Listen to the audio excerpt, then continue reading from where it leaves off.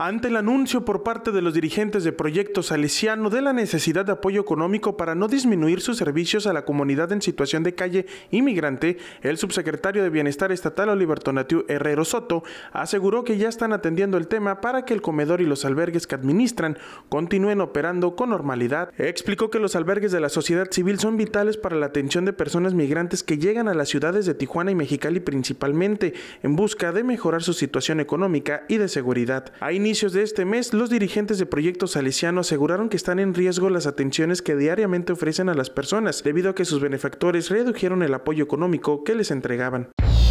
Ahorita ya aquí con el profe Chava ya hemos tenido ya eh, tipo de acercamiento para poder establecer eh, eh, una ayuda con ellos porque la ayuda que ellos hacen a la población de migrante pues es muy importante. Entonces de tal manera estaremos en acompañamiento con ellos para ver de qué manera podemos nosotros contribuir y que sigan con la operación que han venido teniendo. El acompañamiento que hacemos con ellos es pues con la entrega de cobijas, de eh, colchonetas, eh, canasta básica, eh, si así lo están permitiendo,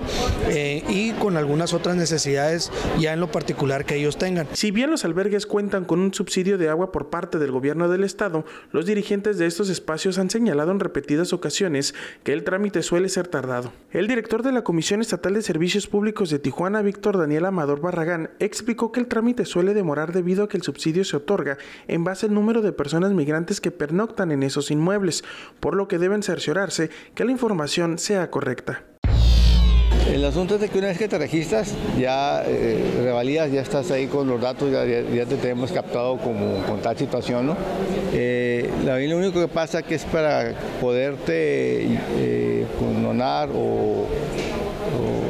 hacerte el descuento que corresponda, darte el subsidio en el consumo, eh, este indica que son, eh, se da hasta 4 metros cúbicos por, eh, por residente que tengan, si este permanece y pernota ahí, o 3 metros cúbicos si es ambulante. Entonces sí ocupamos que nos den la información para saber hasta qué importe va a ser ese, ese subsidio, ¿no?